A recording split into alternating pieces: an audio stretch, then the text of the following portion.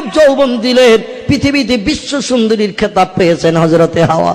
তার মতো রূপবতী, যুবতী, সুন্দরী আর কোন নারীকে সে যুগে বানানো হয়নি।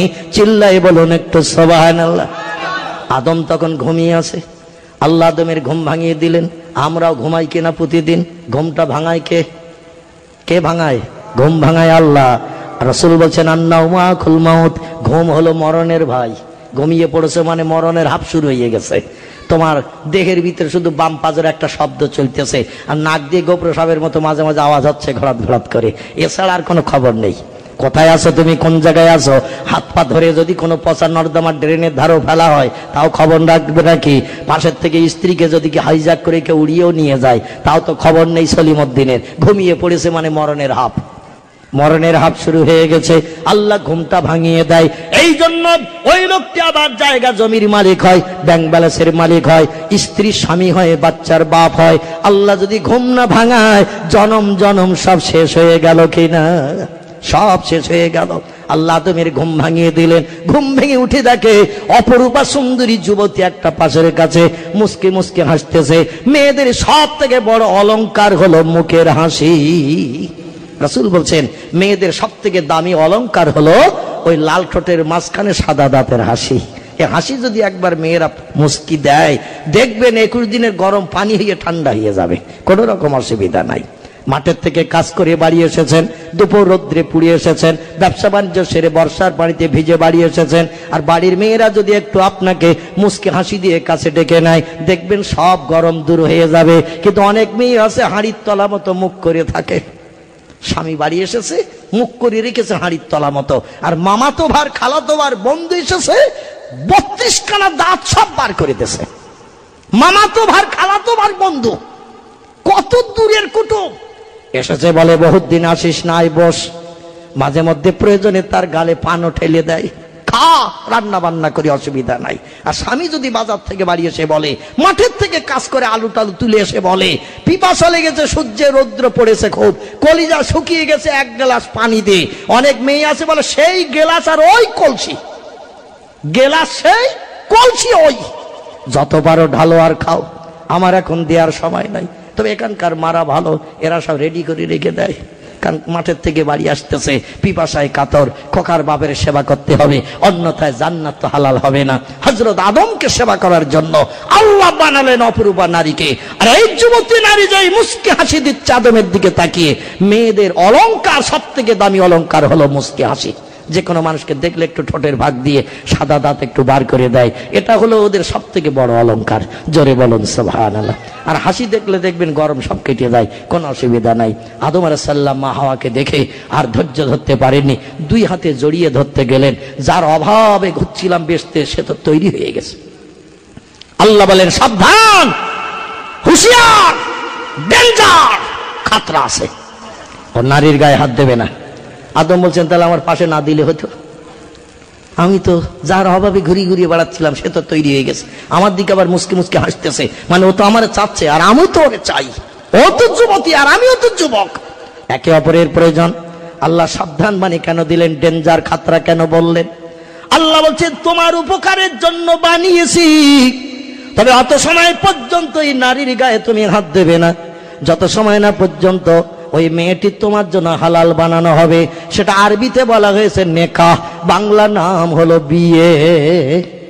বিয়ে যত সময় না করবে, তত সময় মেয়ে তোমার কোনো উপকার করতে পারবে না। তোমার জন্য হারাম হবে। আজকের আর বিয়ের দরকার নেই। রাস্তাঘাটে পথে চলতেছে শুধু অ্যাকশন। ঠিক বললাম না ভুল বললাম? ছেলেদের যদি বিয়ের কথা বলা হয়, বলে বাপের মাথা গরম হয়ে গেছে, এখন বিয়ে করব না। বলে কারণ? বলে সিনেমায় যাত্রা, থিয়েটারে, এখানে সেখানে গেলে তিনটে চারটে পাওয়া যাচ্ছে। বেকার কেন বিয়ে করে ঝামেলা বাড়াবো? টাকা পয়সা খরচ করব, বোনের শখ মিটাবো। জোরে বলুন একটু নাওজবিল্লা বর্তমান যুগে এখন আর বিয়ে শাদী করতে চায় না। পশুর মতো চরিত্র নিয়ে মানুষ পৃথিবীতে বসবাস করছে। ইংল্যান্ড আমেরিকার দেশে একশোর ভিতরে পঞ্চান্ন জন পুরুষের এখন বিয়ে করছে না। পত্রপত্রিকা সাংবাদিকেরা তথ্য দিয়েছে, একশোর ভিতরে ছেচল্লিশ জন মেয়ে ইংল্যান্ড আমেরিকা, জাপান, জার্মানি আর বিয়ে করছে না। বিয়ে করে যেটা পাওয়া যায়, রাস্তাঘাটে, পথে, সিনেমায় পিকনিক স্পটে সেটা একে অপরকে দিচ্ছে। যার কারণে তাদের দেশে লক্ষ লক্ষ যারা অবৈধ হারামজাদা সন্তান তৈরি হচ্ছে। আর মেয়েরা হসপিটালে নার্সিং হোমে সন্তান প্রসব করে, অবৈধ ব্যবিচারী করার কারণে সন্তান প্রসব করে সব ফেলে রেখে চলে যাচ্ছে। সরকার তাদের লালন পালনের জন্য বড় বড় হোম বানিয়েছে, যাদের অভিভাবক নাই। রেখে চলে যাচ্ছে মেয়েরা সন্তান প্রসব করে। বাচ্চা থাকলে আনন্দ ফুর্তি করা যাবে না। এজন্য বাচ্চাকে ফেলে রেখেই চলে যাচ্ছে। আর সরকারের দায়িত্ব পড়ে যাচ্ছে। হাজার হাজার অবৈধ সন্তান যাদের বাপ মায়ের কোনো ঠিক ঠিকানা নাই, এদের সরকার লালন পালন করে মানুষ করছে। ওই দেশের রাস্তার একটা যুবক ছেলেকে কিংবা একটা ছেলেকে, মেয়েকে যদি রাস্তায় কোনো প্রতীক জিজ্ঞাসা করে, তোমার বাপের নামটা বলো? ইয়োর ফাদার নেম তোমার বাপের নামটা বলো। প্রশ্ন শুনলে আমেরিকার দেশের ছেলে মেয়েরা ইংল্যান্ডের দেশের ছেলে মেয়েরা এই প্রশ্ন শুনলে মুসকে মুসকে হাসে। প্রশ্নকারী বলে, প্রশ্ন করলাম, বাবার নাম জিজ্ঞাসা করলাম, মুসকে মুসকে হাসছো কেন? তুমি কি শুনতে পাও না? ও বলে হ্যাঁ হ্যাঁ ইয়েস ইয়েস পাই পাই। বলে, তাহলে বাপের নাম কেন বলো না? বলে, বাপ তো আমার তেরো জন, কোন বাপের নাম বলব? মায়ের তো তেরো জন সঙ্গী, যখন যারে পায় তারে নিয়ে গার্ডেনে যে আনন্দ ভর্তি করে ঘরে ফেরে এখন কোন বাপের নাম বলব? এজন্য আমরা আমাদের দেশে বাপের নাম জনম জনম ভুলে গেছি। আমরা এখন পরিচয় দিই মায়ের। যে মায়ের পেটে ছিলাম ন দশ দিন, মা প্রসব করে পৃথিবীতে জন্ম দান করেছে। আমরা এখন মায়ের নামের পরিচয় দিয়ে থাকি। ওদের দেশে বাপের নামের পরিচয় উঠে গেছে। এখন বর্তমানে সব পরিচয় দিচ্ছে মায়ের। আমাদের দেশেও সে হাওয়া আসতে বাকি নেই। ঠিক কি না একটু যেয়ে দেখেন বিভিন্ন পিকনিক স্পটে গার্ডেনে অটোমেটিক চলছে ব্যবিচারের বন্যার স্রোত।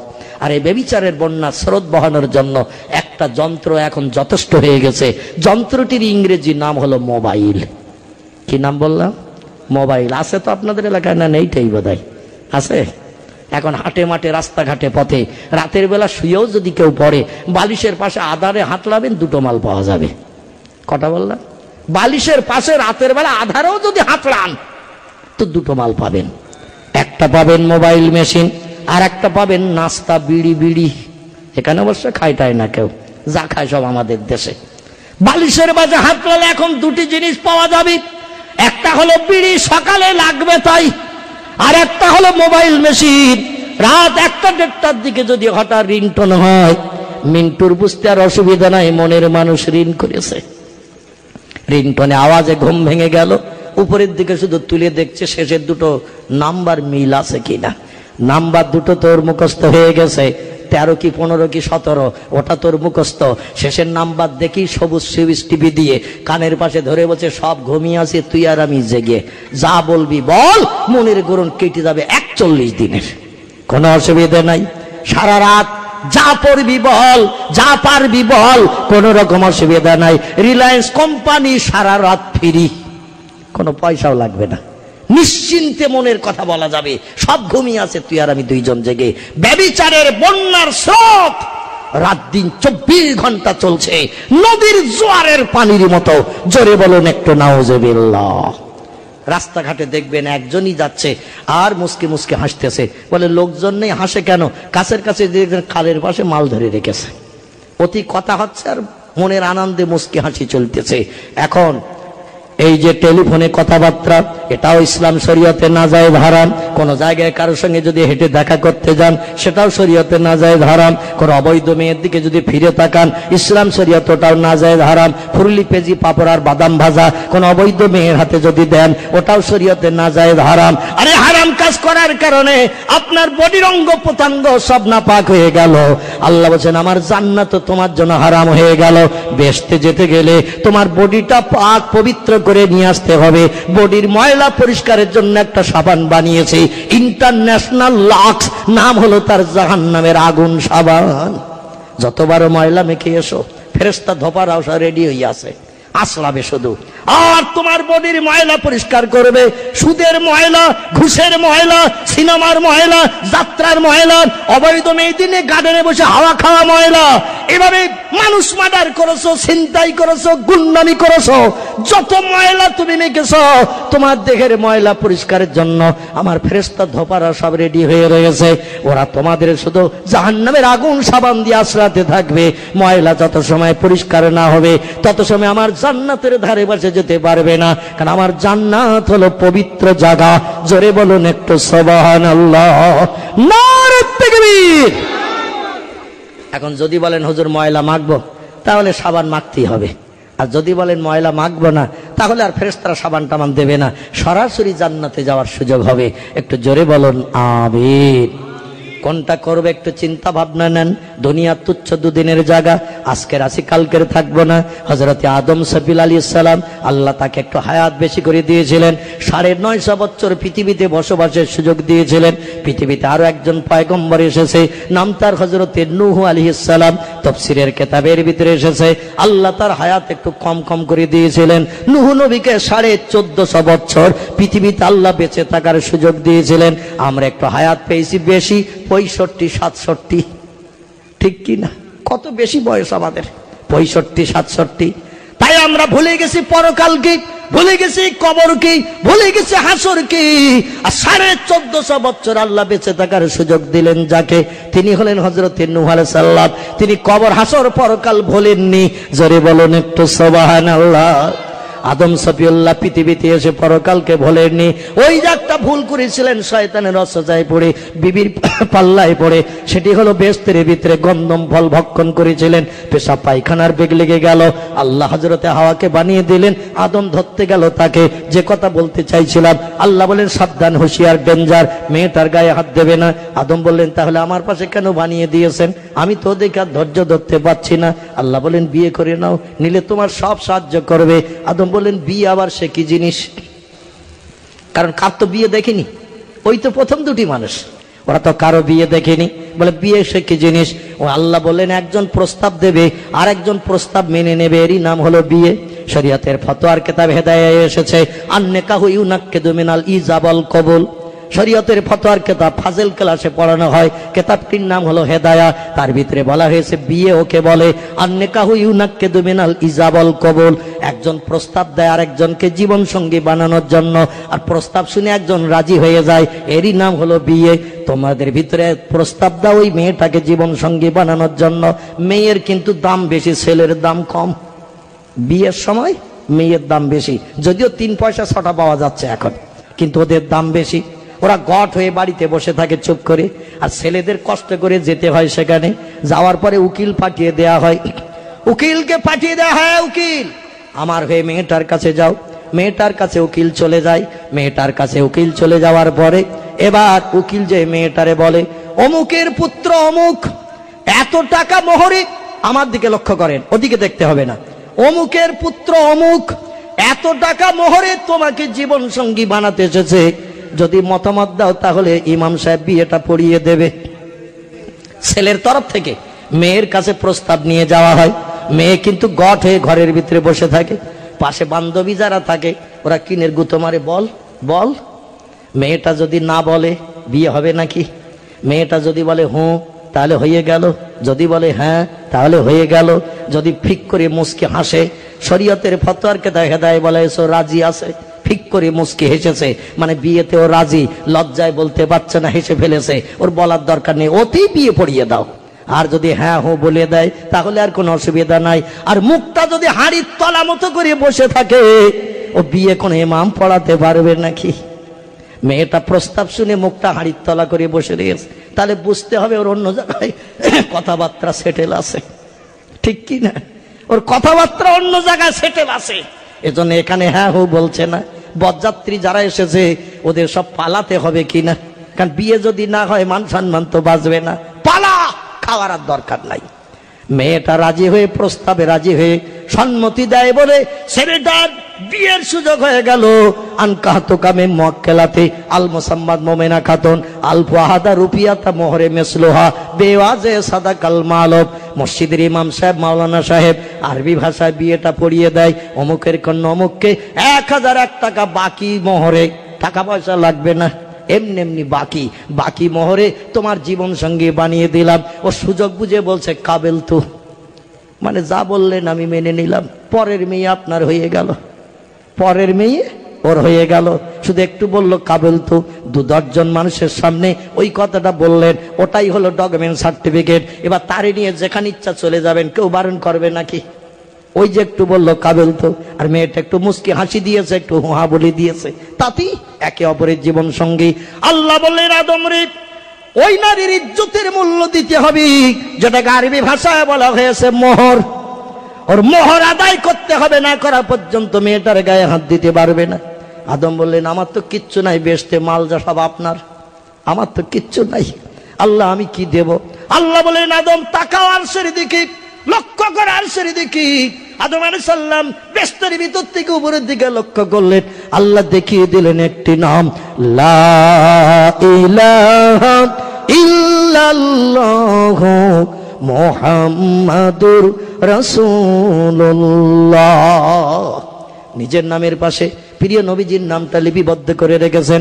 সব পয়গম্বর কাল্লাও নাম দেখিয়েছেন। তোমরা যতই পাওয়ার মর্যাদা পাও, আমার মোহাম্মদ রসুল্লার উপরে কেউ যেতে পারবে না। আমি তাকে সব থেকে শ্রেষ্ঠ করে বানিয়েছি। তা আমার নামের পাশে তার নামটা লিপিবদ্ধ করে রেখেছি। মুসলমান ভাইরা আমার, আমাদের কলেমার এত দাম আল্লাহ দিয়েছি, শুনলে আপনি খুশি হয়ে যাবেন। আল্লাহর নামটা বারোটা অক্ষর দিয়ে গঠিত। লা ইলাহা ইল্লাল্লাহ শব্দটা বারোটা অক্ষর দিয়ে গঠিত। আবার মোহাম্মদ রসুল্লাহ এ শব্দটা বারোটা অক্ষর দিয়ে গঠিত।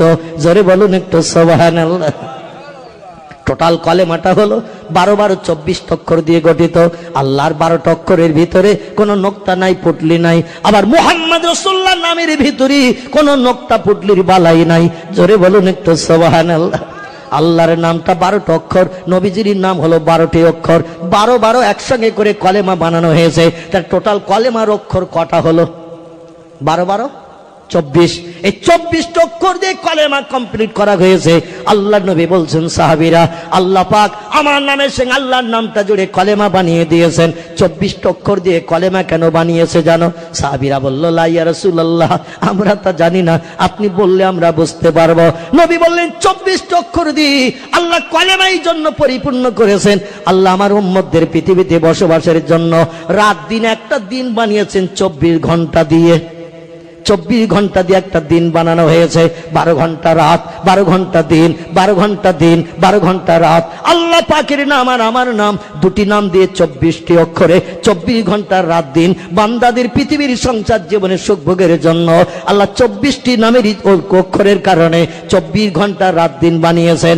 যদি আমার কোন উম্মত চব্বিশ ঘণ্টা রাত দিনের ভিতরে কোনো ভুল ভালো করে বসে, আল্লাহ হুকুমের খেলাপ করে বসে, কোন ত্রুটি বিচ্যুতি যদি করে বসে, আর একটা যদি আমার উম্মত শরীফ পাঠ করে নেয়, চব্বিশটি অক্ষরের কলেমার ইজ্জতের খাতিরে চব্বিশ ঘণ্টার অপরাধ কাল্লা ধুয়ে মুছে সাফ করে তাকে বেগনা মাসুম বানিয়ে দেয়।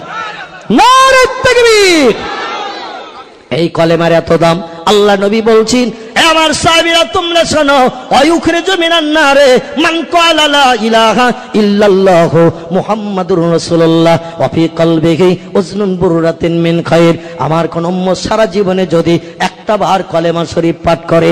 আর কলেমার ওজন আল্লাহর কাছে যদি একটা গমের দানা পরিমাণ ভারী হয়ে যায়, আমি মোহাম্মদ রসুল্লাহ লাইয়াত খুলুল জান্না আমি বেহেস্তে তত সময় ঢুকবো না, আল্লাহর জান্নাতের সুখ আমি উপভোগ করব না। যত সময় না পর্যন্ত আমার উম্মতটাকে জাহান্নাম থেকে টেনে বার করে আল্লাহর জান্নাতে অ্যাডমিশন করাবো। আল্লাহ হাসরের মাঠে প্রথম জান্নাত হালাল বানাবেন আমাদের নবীজিকে। জোরে বলুন একটু সভান হাসরের মাঠে আমার আল্লাহ পাক প্রথম জান্নাত হালাল বানাবেন। আমাদের প্রিয় নবী মোহাম্মদ রসুল্লাহকে নবীজিকে ডেকে বলবেন, হাবিব, বিচার শুরু করব আমি। আপনি প্রথম জান্নাতে ঢুকে যান। নবী বলবেন, আমি জান্নাতে ঢুকবো না। কারণ আমি বেসতে যদি ঢুকে যাই, আমার উম্মতদের উপকার করবে কে? আমি হলাম শ্রেষ্ঠ পয়গম্বর, শ্রেষ্ঠ নেতা। এজন্য আমি মোহাম্মদ অত সময় পর্যন্ত জান্নাতে ঢুকবো না। একটা বার কলেমা পড়ো উম্মত যত সময় জাহান নামে থাকবে আমি তত সময় বাইরে থাকব। জোরে বলুন সোভান আল্লাহ তিরমিজি শরীফের হাদিস এসেছে, আল্লাহর নবী সোনার জবানিতে জানিয়েছেন, সমস্ত হিসাব নিকাশ কমপ্লিট হয়ে যাবে। পৃথিবীতে যত সৃষ্টি আছে, বিজ্ঞানীরা রিসার্চ করে তথ্য দিয়েছে, বর্তমান পৃথিবীর সৃষ্টির সংখ্যা বাড়তে বাড়তে দেড় লক্ষ ছাড়িয়ে গেছে। বাঘ একটা সৃষ্টি, ভল্লুক একটা সৃষ্টি, হাতি একটা সৃষ্টি, গন্ডার একটা সৃষ্টি, ইঁদুর, কুকুর এক একটা সৃষ্টি। এইভাবে সৃষ্টির সংখ্যা ছাড়িয়ে গেছে দেড় লক্ষের উপরে। আবার এক একটা সৃষ্টি কত হাজার কোটি? একই বিজ্ঞানীদের জিজ্ঞাসা করলে বলতে পারবে নাকি? পৃথিবীর বিজ্ঞানীদের যদি বলা হয়, স্যাটেলাইট মেরে তাম পৃথিবীর সব ফটো তোমরা তুলে নিয়েছো। পৃথিবীতে কত সৃষ্টি আছে তাও তত্ত্ব দিয়েছ। মশা কত হাজার কোটি আছে দুনিয়ায় বলো। ও বলবে শ্বশুর বাড়ি যাচ্ছি, বাড়ি আসলে খবর নিও। বাড়ি আর ফেরবে। শ্বশুর বাড়ি ঘর জামাই রয়েই যাবে সারা জীবন। কারণ বাড়ি ফিরলে তো চাচা বলবে, মশা কত হাজার কোটি, বলো। এ তত্ত্বকে বিজ্ঞান দিতে পারবে। পৃথিবীর বিজ্ঞানীদের যদি বলা হয়, মানুষের মাথায় কত কোটি উকুন আছে, খবর দাও। ও বলবে আই ডোন্ট নো বলতে পারব না। আল্লাহ বলছে যত সৃষ্টি আছে, সব সৃষ্টির খবর আমি আল্লাহ রাখি এবং সমস্ত সৃষ্টির রেজেক দৈনন্দিন আমি আল্লাহ পরিবেশন করে থাকি। কোরআন বলছে অমামিন ইল্লা চিল্লাই বলুন একটু, সুবহানাল্লাহ। আল্লাহ বলছেন, জলে এবং স্থলে ডাঙা এবং পানিতে যত সৃষ্টি বসবাস করছে, সব সৃষ্টির রেজেক আমি আল্লাহ পরিবেশন করি। আমার দেয়া খাবার ছাড়া এক দানা বেশি খাওয়ার ক্ষমতা কারও নাই। আমার দেয়া খাবার ছাড়া এক দানা কম কেউ খায় নাই। চিল্লাই বলুন একটু, সুবহানাল্লাহ। আল্লাহর একজন পয়গম্বর ছিলেন, নাম তার হজরতে সোলাইমান আলী সালাম। কি নাম বললাম? সোলাইমান সোলাইমান পয়গম্বর। কোরআনে হাজার হাজার পয়গম্বরের ভিতর থেকে আল্লাহ ছাটাই করে, বাছাই করে পঁচিশ জন পয়গম্বরের জীবনী আল্লাহ কোরআনে কোট করে দিয়েছেন। কতজন বললাম? পঁচিশ জন পয়গম্বরের জীবনী আল্লাহ কোরআনে কোট করে দিয়েছেন আমাদের ভবিষ্যৎ জীবনটা সুখের বানানোর জন্য। ওই পয়গম্বরের জীবনীর দিকে যদি আমরা দৃষ্টি নিক্ষেপ করতে পারি, জীবনে কোনোদিন কারও কাছে হাত পাততে হবে না সাহায্যের জন্য। পঁচিশ জন পয়গম্বরের জীবনী আমাদের জন্য আনাপ যথেষ্ট। এই পয়গম্বরেরা পৃথিবীতে দিনের কাজ করতে যে শয়তান ইবলিসের অনুচরদের কাছে চরম বিপদে পড়েছেন। আর বিপদে পড়ে ডেকেছেন তারা একমাত্র আল্লাহকে। আর আল্লাহ তাদের সাহায্য করে মুখে হাসি ফুটিয়েছেন। জরে বলুন একটু সবাহান আল্লাহ উম্মতে মোহাম্মদীরা পৃথিবীতে তোমরা সংসার জীবনে সুখী হতে গেলে ইবলিশ শয়তান তার অনুচরেরাও তোমাদের বিরুদ্ধে চারণ করবে, তোমাদের বিরুদ্ধে লাগবে, ধোকা দেবে, প্ররোচনা দেবে, তোমাদের খারাপ কাজে নিয়ে যাবে, কুমন্ত্রণা দেবে। আর তোমরা পায়গম্বরদের জীবনের দিকে যদি দৃষ্টি নিক্ষেপ করতে পারো, শয়তান ধোকা দিয়ে তোমাদের কিছু করতে পারবে না। একদিন তোমরা সফল কাম হতে পারবে। জোরে বলুন একটু সবাহান আল্লাহ এই যে পয়গম্বর আমার আল্লাহ পাক কোরআনে কোট করে দিয়েছেন কারবা নাম আদম কারবা নাম শীষ কারবা নাম ইদ্রিস কারবা নাম নোহ কারবা নাম ইব্রাহিম কারবা নাম ইসমাইল কারবা নাম ইসহাক কারবা নাম ইয়াকুব কারবা নাম ইউসুফ কারবা নাম দাউদ কারবা নাম সোলাইমান কারবা নাম মুসা কারবা নাম হারুন কারবা নাম হুদ কারবা নাম লুত কারবা নাম সালে কারবা নাম জাকারিয়া কারবা নাম এহিয়া কারবা নাম আইয়ুব কারবা নাম ইউনুস কারবা নাম শোয়েব কারবা নাম ইলিয়াস কারবা নাম ওজায়ের কারবা নাম ঈসা কারবা নাম মুহাম্মাদুর রাসূলুল্লাহ একটু চিল্লাই বলুন সুবহানাল্লাহ কজন হলো গণেননি তা তাবারুক তো হবে না হারা শুধু শুনবি গুনবি না তাহলে তো তাবারক হাত ছাড়া হবে আর খুব বেশি দেরি নেই তাবারকের এবার আমি আবার বলি বাচ্চার একটু গুনে নে কারবা নাম আদম কারবা নাম শীষ কারবা নাম ইদ্রিস কারবা নাম নুহু কারবা নাম ইব্রাহিম কারবা নাম ইসমাইল কারবা নাম ইসহাক কারবা নাম ইয়াকুব কারবা নাম ইউসুফ কারবা নাম দাউদ কারবা নাম সুলাইমান কারবা নাম মুসা কারবা নাম হারুন কারবা নাম হুদ কারবা নাম লুত কারবা নাম সালে কারবা নাম জাকারিয়া কারবা নাম এহিয়া কারবা নাম আইয়ুব কারবা নাম ইউনুস কারবা নাম শোয়েব কারবা নাম উজাইর কারবা নাম ঈসা কারবা নাম মুহাম্মাদুর রাসূলুল্লাহ সাল্লাল্লাহু আলাইহি সাল্লাম জোরে বলুন একটু, সুবহানাল্লাহ। কত হলো, পঁচিশ হয়েছে এই পঁচিশ জন পয়গম্বর, আমার আল্লাহ পাক এই পঁচিশ জন পয়গম্বরের জীবনী কোরআনে কোট করেছেন। যার চব্বিশ হয়েছে ওর মন হাড়িতে রয়েছে। যার গণনায় চব্বিশ হয়েছে ওর মনটা হাঁড়িতে রয়েছে। যারা গুনেছেন পঁচিশ, তাদের মনটা এখানে। ঠিক কি না? মুসলমান ভাইরা আমার, এই পঁচিশ জন পায়গম্বরের নাম আল্লাহ কোরআনে কোট করে দিয়ে দিয়েছেন। আর প্রত্যেকটি পায়গম্বর পৃথিবীতে দিনের কাজ করতে যে শয়তানের অনুচ্ছদের মাঝখানে বিপদের সম্মুখীন হয়েছে। আর বিপদে পড়ে পায়গম্বরে না, কোনোদিন কোনো মানুষের কাছে হাত পাতেনি, হাত পেতেছে আমার আল্লাহর কাছে। আল্লাহ কোনোদিন তাদের মুখে হাসি না ফুটিয়ে পারেনি।